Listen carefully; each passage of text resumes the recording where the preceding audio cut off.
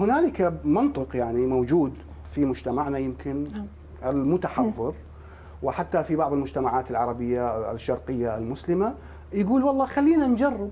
احتمال آه، ما نتوافق جنسيا. أكو هذا الرأي موجود عندهم إنه خلينا نجرب بين الخطيب وخطيبته احتمال ما نتوافق. بالفعل هاي أو حتى بين حقيقة. بين العلاقات العابرة يعني. أشوف نوعية نوعية الاستمرارية مالتها.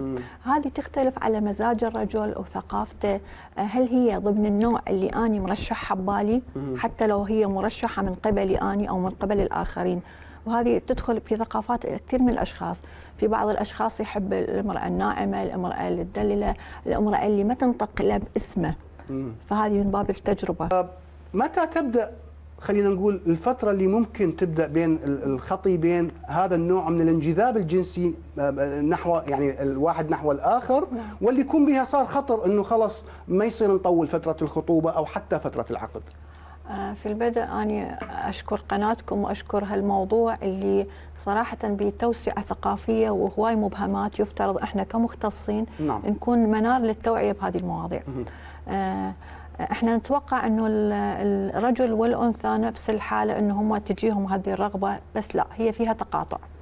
تبدأ عند الأنثى بإنه إعجاب وانجذاب وتعارف ومشاركة اجتماعية يعني يكون أكو نوع من التواصل. بعدها تكون عندها رغبة إنه حاجاتها يلبيها هذا الشخص سواء كان خطيب أو أي شخص كان يعني يمتلك هذا القرب. بينما الرجل هو يفكر بالانجذاب الجنسي قبل كل هذه الأمور. فلهذا هو يكون المبادر بهذه العملية. وهذه تكون فترتها مؤقتة واستمراريتها مؤقتة. لهذا تؤثر على نوعية العلاقة بيناتهم ويفكر إنه هو ينسحب ويتخلى عن هذا الموقف اللي هو. هو هو الشباب يعني أصلا يمكن من ب- بالزواج هو الجنس ربما تكون لذلك هذا الاختلاف. والمرأة يمكن بتركيبتها بتكوينها هي ترغب بتكوين أسرة وعائلة وأطفال. يعني هذا هذا الاختلاف يعني يكون الرجل هو الدافع دائما. المرأة تمر في مراحل إلى أن تصل إلى الحاجة الجنسية. مم. الرجل هو يبدي بالحاجة الجنسية يبدي عند الانجذاب الجنسي رقم واحد. لهذا تحس أن ال- العلاقة القائمة على الحب فيها كثير من التنازلات.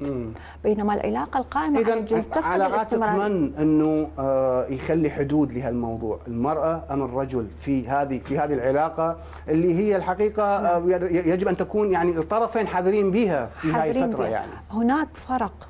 هل أنه الجنس يقود إلى الحب؟ أو هناك علاقة بين الجنس والحب. وهل هو يفرق بين الحب والرغبة الجنسية؟ إذا كانت الرغبة رقم واحد فلا هذا الأمر متهالك منتهي